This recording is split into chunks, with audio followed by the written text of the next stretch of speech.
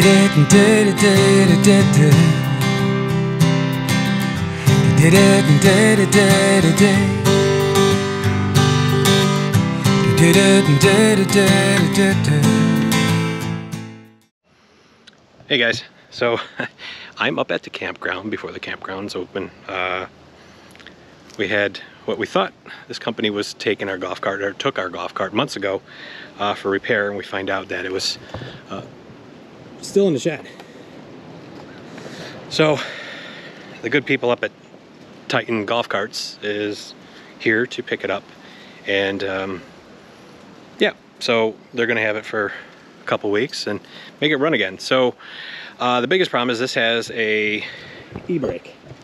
And the batteries are so dead that the e-brake won't release. And even if you try to do the other tricks there to do it it's not working. So um, Troy uh, from campground maintenance guy came and helped and we pushed it out and there's where it sits right now. And in a couple seconds here the the gentleman will be coming with a trailer to pick it up. And um, he's probably going to have to re remove the brake. And then it should just go right up. I don't know how big this truck or trailer is but we're about to find out so.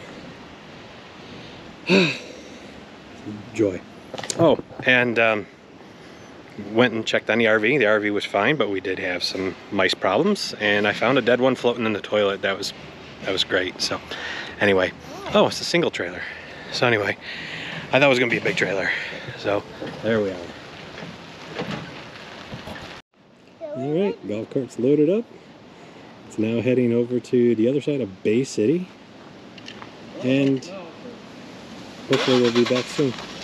Oh what's you found Don't smell. So oh yours yours is good then mine mine's stinky Hey! yeah it's windy I didn't uh, open the bathroom door just because I don't want to move it. yeah hopefully you're not really trying to get out of here.